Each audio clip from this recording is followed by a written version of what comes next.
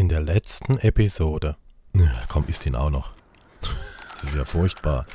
Like. Echt, war der Fisch so rau? Na gut, der war halt schon ein bisschen älter. Der war wahrscheinlich schon komplett ausgetrocknet. Das ist wahrscheinlich so ein norwegischer Trockenfisch.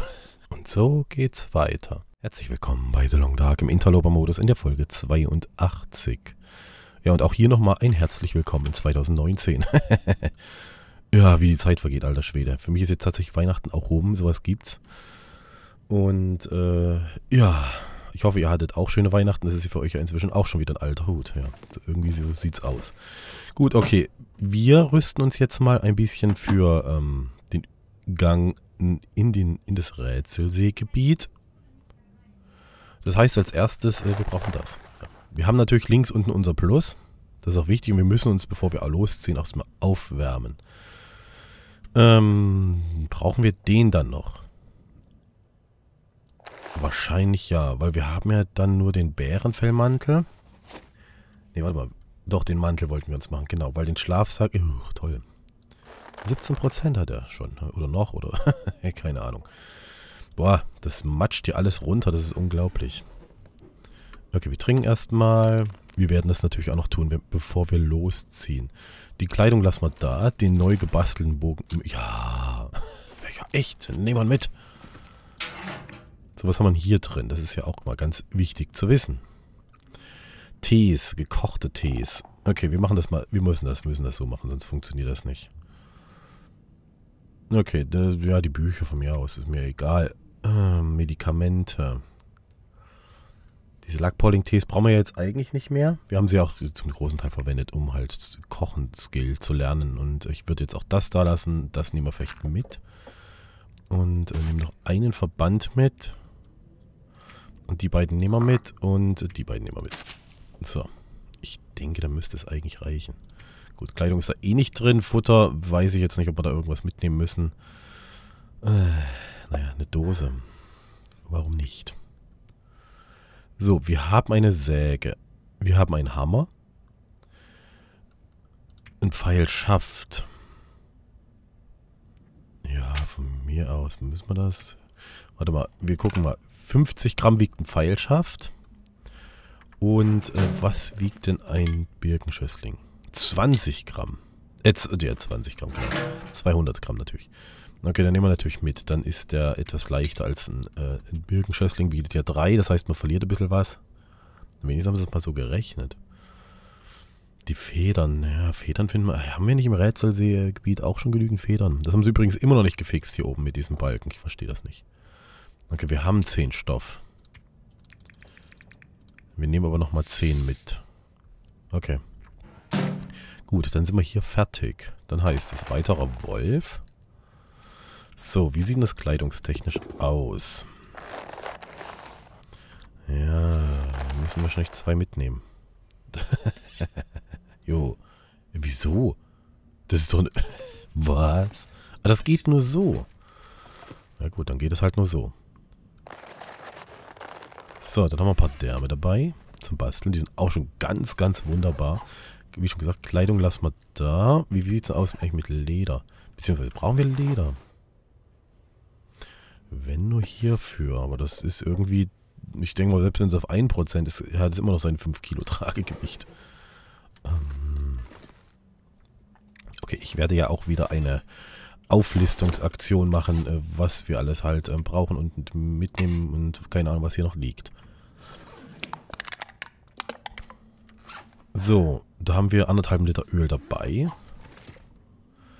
Das mit diesen Kisten. Ich weiß halt nicht, ob wir die nicht auch im Rätselseegebiet haben. Das haben. Wir haben das halt auch nicht. Mal, wir haben das, glaube ich, auch nicht aufgeschrieben. Nee.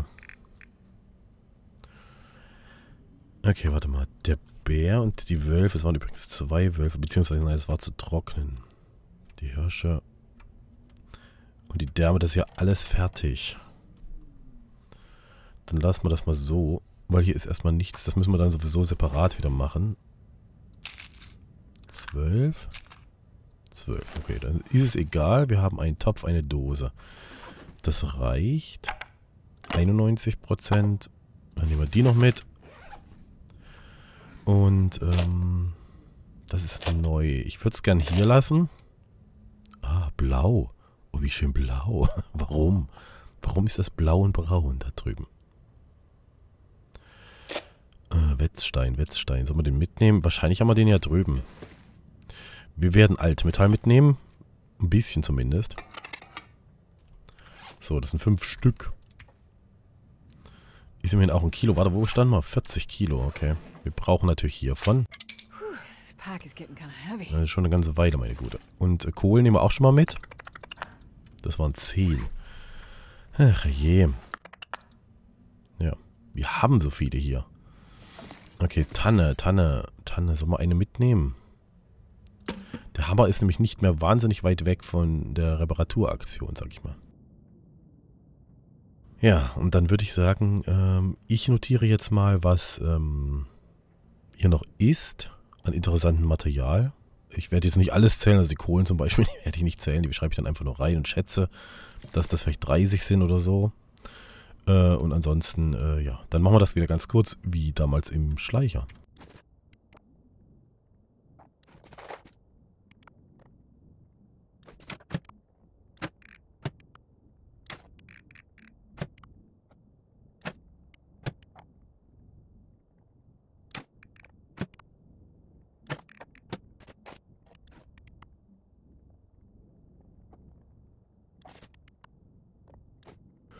Okay, ich denke, wir haben, es ist jetzt nicht so extrem viel gewesen. Also ich meine, natürlich war es im Schleicher mehr. Ähm, Tannenholz schreibt man noch dazu. Äh, etliche Tannenholz. So. Ja, vor allem, äh, wir haben äh, Ölfläschchen dabei, die Sägen. Der Hammer ist interessant, was wir an Wettstein-Nähsets dabei haben. Finde ich wichtig, ähm, dass hier noch jede Menge Stoff und Leder ist. Ich habe jetzt noch eins mitgenommen. Äh, dann halt noch die Birkenschösslinge zum Beispiel, das Altmetall, dass hier noch etliche Kohlen liegen und so weiter. Denke ich, das ist wichtig. Ähm, der Rest ist ja nicht ganz so wichtig und ich würde sagen, wir warten ganz kurz, bis wir warm sind. So, dann ähm, trinken. Ich nehme auch noch ein Wasser mit. So. Ja, jetzt geht die Sache los, weil wir zwei Bögen dabei haben, muss ich natürlich den entsprechenden auswählen. Auf geht's. Wird das jetzt Nebel? Toll. Ah, so viel zum Thema Auf geht's. Im, Im, Schleicher hat man Blizzard, hier haben wir Nebel. Ja, es ist tatsächlich Nebel. Es ist dichter geworden. Jetzt ist die Hütte da hinten komplett verschwunden. Äh. Tja. Ist übrigens kalt. Wir haben schon wieder ein bisschen was verloren. Ja, unter zwei Stunden wird das sowieso nichts. Ja, dafür haben wir jetzt noch La Lagerkoller-Risiko. Ah, okay, alles klar. Das passt ja. So, warte, warte, warte, warte, warte. Wir müssen da ein bisschen vorsorgen. Gut. Achso, ich wollte gerade sagen, es ist nur noch ein halbes. Nee, das war noch im Schnee eingesunken. So, wir stehen bei, äh, Entschuldigung, wir stehen bei äh, 47 Kilo. Ach, du Schande. Ein Hirsch, okay. Ich will nur mal gerade gucken, was haben wir eigentlich am Futter dabei? Oder haben wir genug dabei? Das ist gar kein Problem. Wir müssen nämlich nur gucken, dass wir keinen Hunger leiden. Hä, war die Hütte nicht mal anders? Oder ist die ja, wahrscheinlich anders in Erinnerung? So. Dann heißt es jetzt nach 49 Tagen exakt sieben Wochen äh, verlassen wir wieder die Küstenstraße. Sie war sehr erfolgreich. Also wir haben hier ähm, den Kochenskill auf Level 5 gehoben. Das ist schon ein Wort, sag ich mal. So, Müffellinie haben wir nicht. Okay. Also es ist schon ein Wort. Das auf 5 zu heben, da können wir jetzt essen, was wir wollen. Das bedeutet wahrscheinlich auch für den Rätselsee. Ich nehme an, dass da auch einiges liegt. Da müssen wir halt gucken, wie wir da zur Rande kommen. Mit neuem Futter. Haben nicht sogar den Bogenskill hier auf Level 3 gehoben? Ich glaube auch. Mal abgesehen vom Kochen-Skill, den wir ja sogar auf Level 4 gehoben haben. ja, wir sind hier weiter als im, lustigerweise, äh, als im Schleichermodus.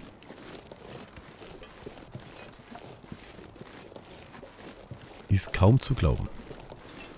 So, Temperatur, ja, die geht gut runter, alter Schwede. Wir haben schon wieder fast die Hälfte verloren.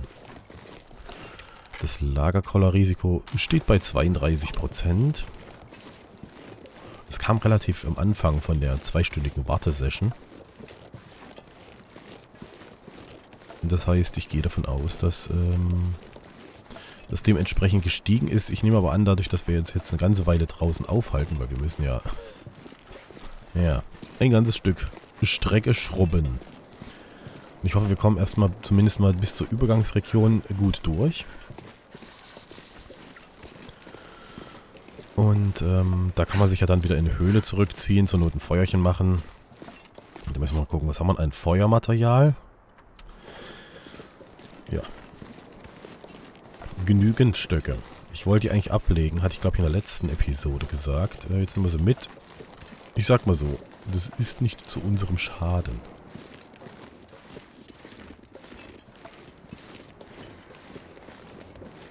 Ja, so, sehr schön. Sehr, sehr schön. Da sind wir da doch ganz gut vorangekommen. Wir haben natürlich jetzt, ich hätte natürlich noch mehr Bergenschösslinge mitnehmen können, aber ich sag mal wozu. Wir müssen mittelfristig sowieso in nochmal ins Marschland gehen, um äh, nochmal Pfeilspitzen zu machen. Deswegen habe ich jetzt nochmal einen ganzen Sprung Altmetall mitgenommen. Wir sollten wahrscheinlich auch gucken, dass wir im, im Damm uns noch einiges an Altmetall besorgen. Äh, ich meine, theoretisch könnte man ja noch ein weiteres Set an Messer und ähm, Beil machen. Weil irgendwann sind auch die Wetzsteine aus. Wir haben jetzt hier noch zwei und ich habe sie jetzt auch hier gelassen, weil ich mir denke, ähm, wir haben wahrscheinlich im Rätselseegebiet auch genügend. Ich denke nicht, dass wir da keine hatten. Das würde mich schwer, also es würde mich sehr schwer wundern. Ja, das mit den Schatten haben es leider immer noch nicht hinbekommen. Das ist immer noch, sieht immer noch so aus, als hätten wir Sonnenschein. Du denkst halt, oh ja, Sonnenschein und dann, nee, ist doch nicht. Hm. Naja, gut.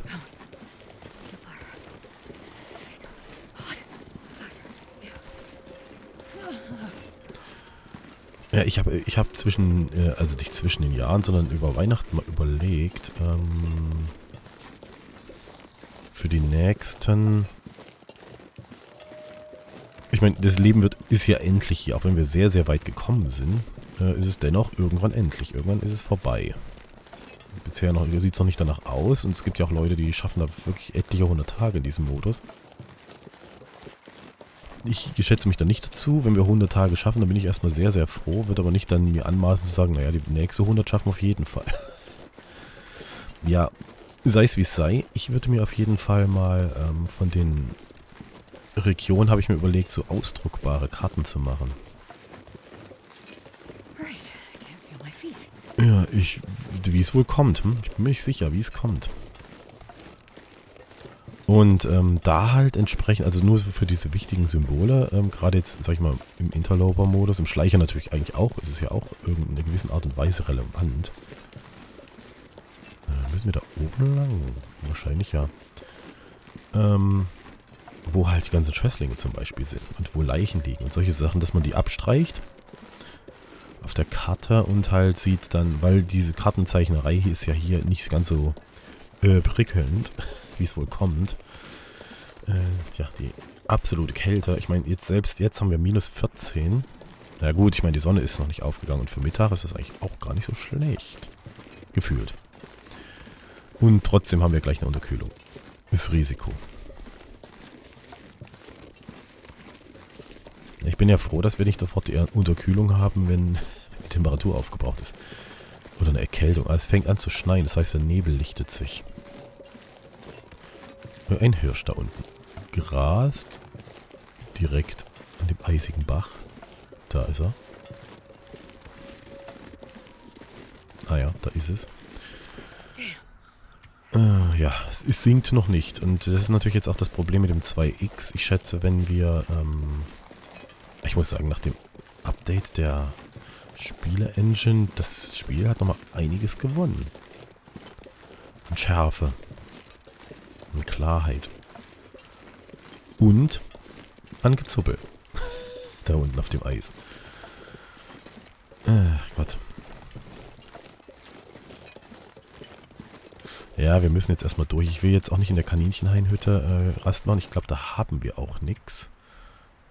Doch, zwei Därme und ein Hirsch. Naja gut, ich lasse ihn jetzt dort. Weil, äh, ja. Wir sind schon schwer genug.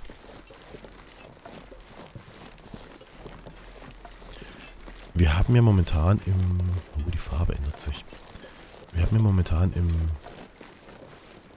Schleichermodus, ich sag mal, das Experiment gestartet mit, ähm, also du bist da echt völlig falsch.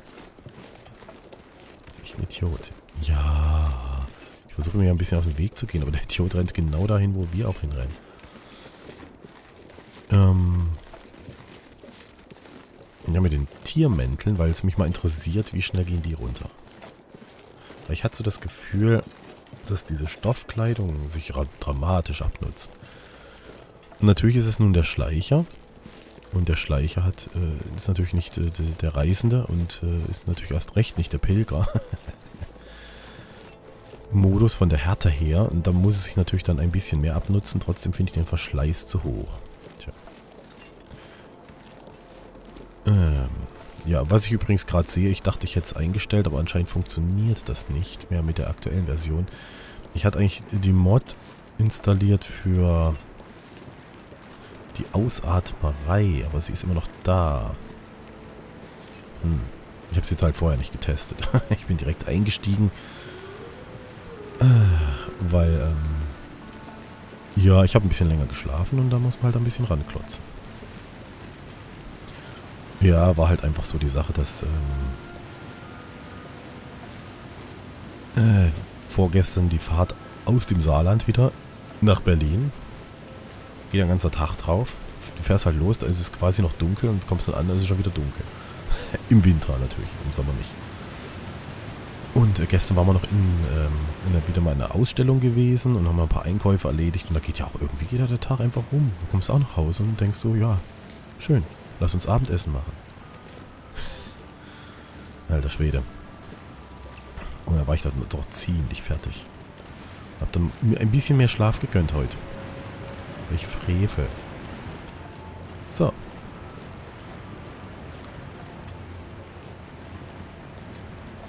Aber worauf ich mich jetzt richtig freue, ist einfach jetzt mal wieder zurückzukommen nach Hause.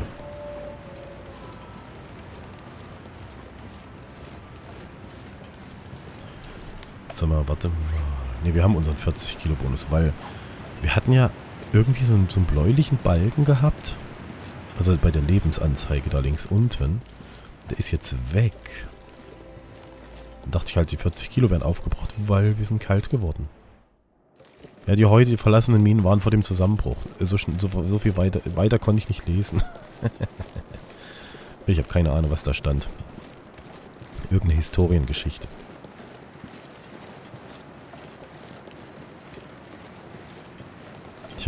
Sieben Wochen ist es her, dass wir das letzte Mal hier lang gelaufen sind. ich habe jetzt gar nicht in diesem Modus geschaut, wie lange sieben Wochen, also wie lange das jetzt in, in Folgen her ist, dass wir hierher unterwegs waren. Oh, der Wind geht so. Das ist nicht so ganz günstig. Ja, die Musik. Wegen der Brücke. Ist ja wichtig. Wir müssen ja schon die entsprechende Untermalung haben. Er kommt auch natürlich von vorne.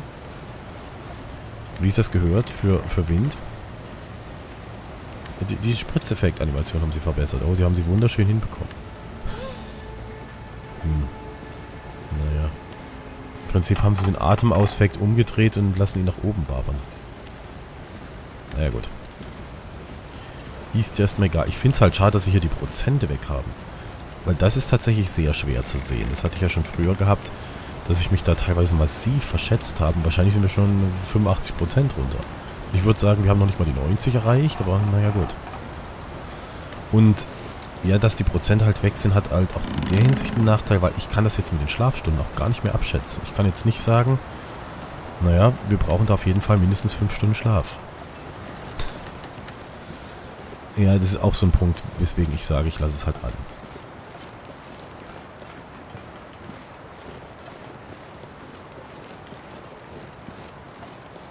So. Ja, was mir beim Schneiden übrigens auffiel, ist, dass diese Geschichte extrem dunkel rausgekommen ist. Ich weiß es gar nicht wieso. Ich muss da wahrscheinlich, ich habe ja ähm, so ein, so ein Helligkeitskontrast-Dingens ähm, mal auf den Folgen drauf. Wegen der alten Engine, das war, fand ich noch nicht so gut ausbalanciert. Beim Schnitt, dann habe ich halt so einen Effekt, lege ich halt immer einen Effekt drauf, den habe ich mir vorkonfiguriert. Und ähm, dass Helligkeit und Kontrast nochmal nachjustiert wird. Und ich habe das in der letzten Folge auch gemacht, einfach so. Habe mir das aber gar nicht richtig angeschaut. Das muss ich jetzt mal machen, dass ich das halt entsprechend korrekt korrigiere, dass ich das sozusagen ein neu, das Setup dann neu justiere für diese Variante. Ich finde, kontrastmäßig kann man immer noch was machen.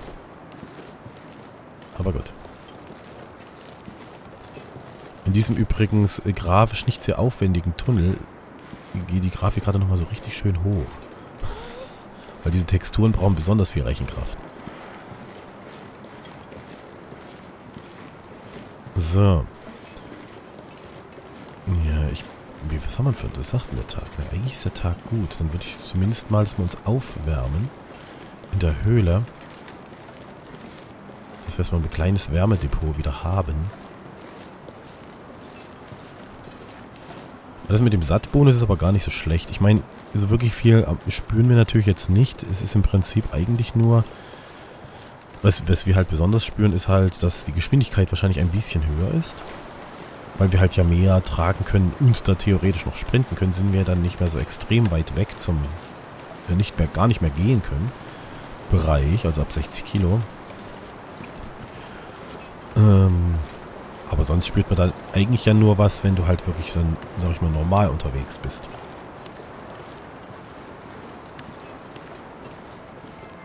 Ja, das wird natürlich dann noch kritischer mit diesem Bär, mit der Bärengeschichte. Dem Bärenfellmantel.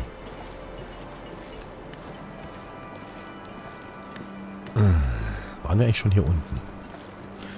Ich glaube ja. Ich glaube, ich habe das relativ am Anfang vom Leben gemacht, dass ich da runtergestiefelt bin in die Schlucht. Also wir sind ja eh schon, die, die heißt ja eh die Schlucht, aber die, die, die Schlucht in der Schlucht sozusagen. So, gehen wir ein bisschen Richtung Felsen.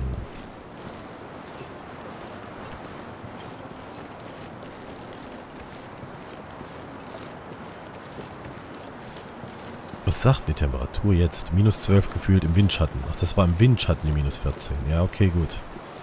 Deswegen fühlte sich das so warm an. Beziehungsweise, naja, das ist ja nicht so gesagt. Das war ja Nebel. Ja, jetzt wo ich, wo ich bei meinem Schwiegervater war, haben wir natürlich dann auch mal Spaziergänge gemacht, weil der wohnt ja schön auf dem Land. Und da ist auch ein Wäldchen daneben. Da machen wir dann immer so ein, knapp eine Stunde so einen Rundgang. Und da war äh, Hochnebel. Ich weiß nicht, warum es das Hochnebel nennt. Eigentlich ist es Tiefnebel. also war halt die Wolkendecke so niedrig, dass man halt im, im Nebel quasi gelaufen ist. War jetzt nicht super dicht, aber ist so zwischen äh, dem dichten Nebel und dem, no dem normalen Nebel, sag ich mal. So, mal gucken, ob die, das hier hinten reicht. Hier hinten gibt es auch Kohle.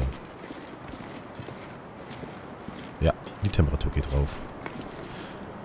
Äh, soll man schlafen oder soll man nicht schlafen? Schlafen verbrennt halt weniger Energie, aber dann können wir nicht am Stück so gut schlafen. Und das ist mir ja eigentlich lieber. Dann äh, warten wir kurz. Bis wir warm sind halt. Bei 16 Grad gefühlt geht das wahrscheinlich sogar relativ schnell. Ja, hat, eine Stunde hat es gedauert. So, was sagt denn das Lagerkoller-Risiko? Es hat sich noch nicht ein Ding verändert. Ist das nicht schön? Äh, komm, trink mal was. Ja, sehr verwirrend, dass das gegen den Uhrzeigersinn geht. Also ich verstehe das ja nicht, warum man das gegen den Uhrzeigersinn macht. Weil, ich weiß nicht, wird ja alles irgendwie im Uhrzeigersinn machen. Weil man das ja irgendwie so gewöhnt ist von der Uhr halt. Also das halt sozusagen, ähm, wenn man jetzt unsere Temperatur ansieht, die übrigens sehr schnell sinkt, ähm, dann müsste sie ja eigentlich, müssen wir jetzt auf 11 Uhr sein. Jetzt sind wir irgendwie komischerweise auf 1 Uhr. Also ich verstehe nicht, warum es das so rummacht. Es ist sehr, sehr verwirrend, diese Richtung. Auch, auch beim Trinken, das, das ist sehr, sehr irritierend, dass es gegen den Uhrzeigersinn geht. Boah, das wäre das aber nicht gut. Ach du Schande. Ich bin mal gespannt, wie weit wir kommen. Wir müssen jetzt auf jeden Fall erstmal... Wir könnten ja in der nächsten Höhle nochmal einen Zwischenstopp machen. Äh, das wird wahrscheinlich dann auch nochmal eine Stunde warten sein. Eventuell müssen wir dort übernachten.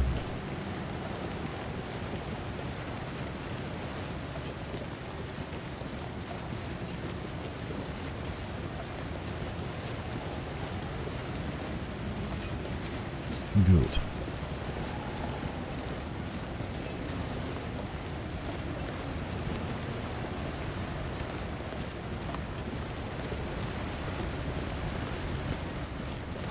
So, hervorragend.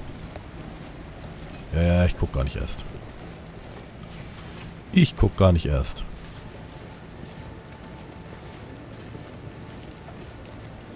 So, die Hirsche haben wir, glaube ich, alle schon auseinandergenommen. Ah ja.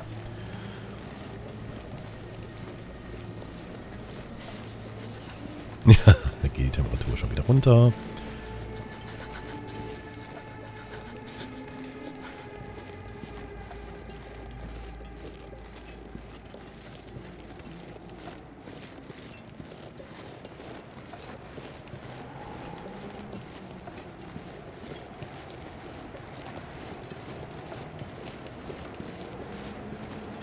Sehr interessant wird es übrigens für euch, wenn ihr das live guckt.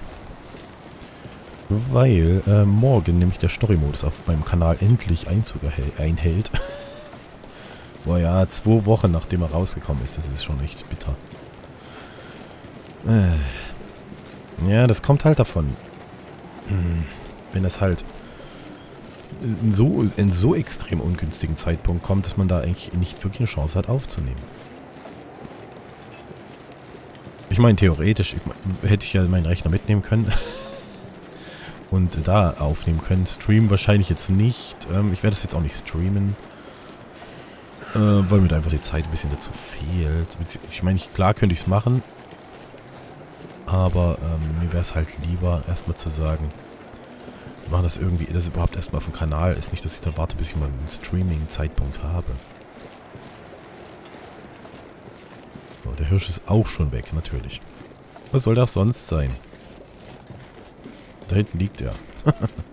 Hervorragend. Habe ich den überhaupt eingezeichnet, äh, eingetragen? Oh, das weiß ich nicht. Ich habe jetzt auch keinen Bock, dahin zu gehen. Hinten ist aber schön warm. Habe ich das eingetragen? Tatsächlich nicht.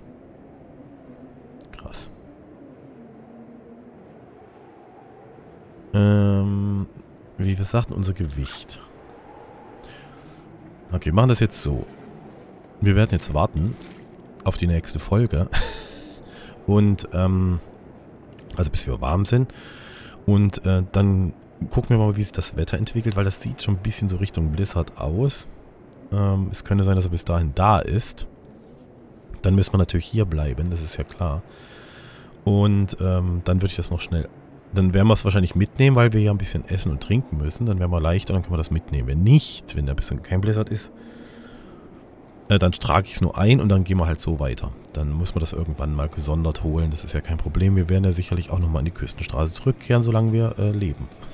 Ja, davon hängt es ja ab. Ah, sehr schön. Ja, dann danke ich euch fürs Zuschauen. Ich wünsche euch einen guten Tag und wir sehen uns in der nächsten. Macht's gut. Ciao.